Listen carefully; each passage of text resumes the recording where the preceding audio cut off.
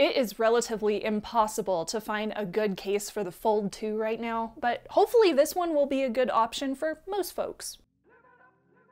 Hey S'mores, I'm Shannon Morse. Welcome to Morse Code. I do tech reviews and tutorials, so if you are looking for in-depth tech and gadget content, you've come to the right place. This, my friends, is the Spigen Thin Fit case in bronze for the Galaxy Z Fold 2.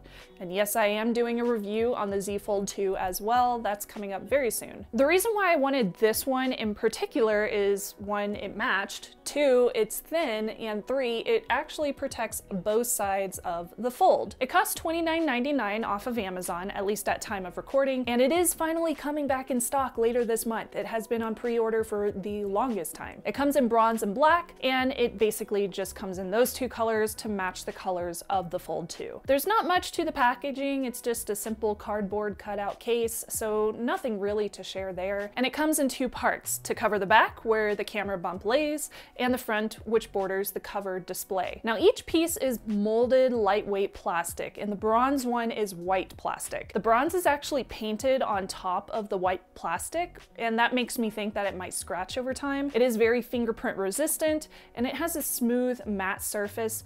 It's notably not as slippery as the original phone metal casing, which really, really helps me feel a lot more comfortable using such an expensive device whenever I'm out and about. Luckily, Spigen only put their logo on the back cover, so it's not obtrusive or anything, and it's pretty easy to put together. For the back part, the case, it simply snaps into place and it sits firmly on the back. A very slight lip protects the camera lenses, but I would probably still get a tempered glass lens protector just to be on the safe side to cover up those lenses. The front case also snaps into place, but it has eight little sticky strips that hold it onto the phone since the edges are so thin.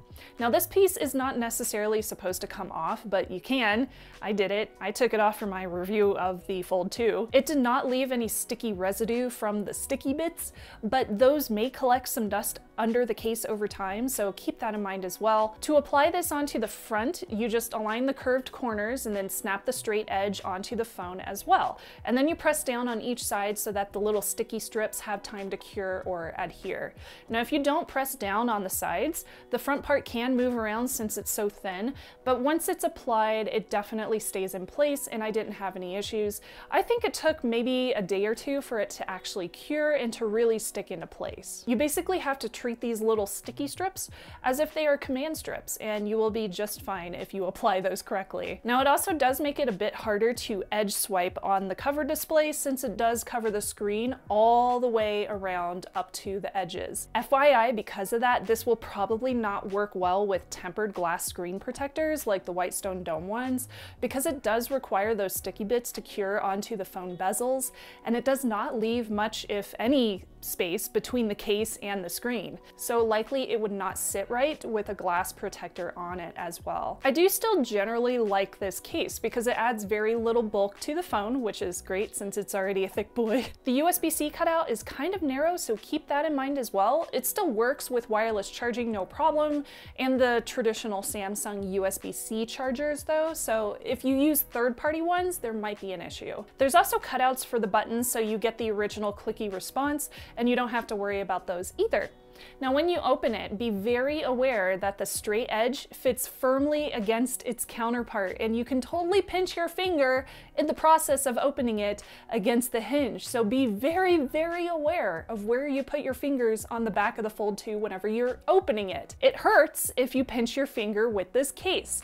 Ask me how I know. But for what it's worth, it fully protects the hinge whenever it's unfolded, and I do like that feature. The edges surrounding the folding screen are totally flush with the phone, so they don't deter from being able to use the folding screen at all, and it's a pretty decent case.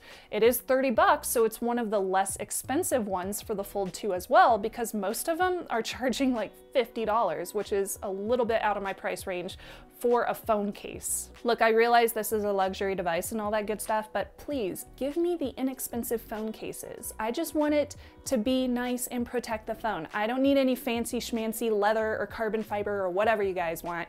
I just want something simple.